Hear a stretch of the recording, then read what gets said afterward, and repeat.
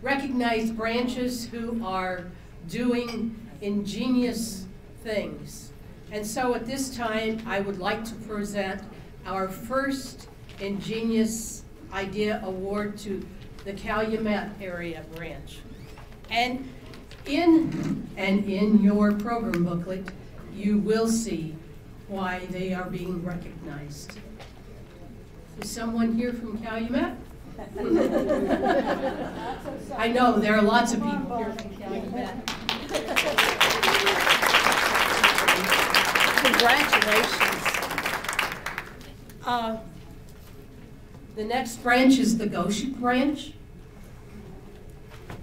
You can see what they, everyone's been doing. Ann, can you get it? Sorry. Congratulations. The Indianapolis branch? Dorothy, where are you?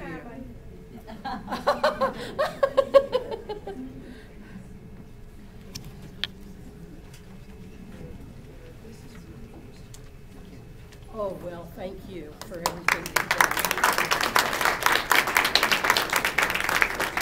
The Laporte branch, and I know Beth's in the back of the room.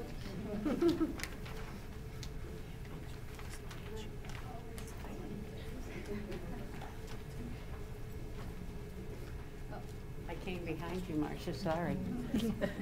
Congratulations. Thank you. I'll go back this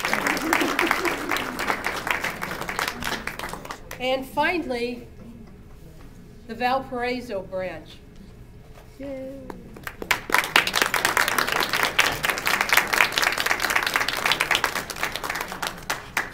Well, thank you for all your hard work. That's nice. Read carefully what they've done because you can get ideas for programming.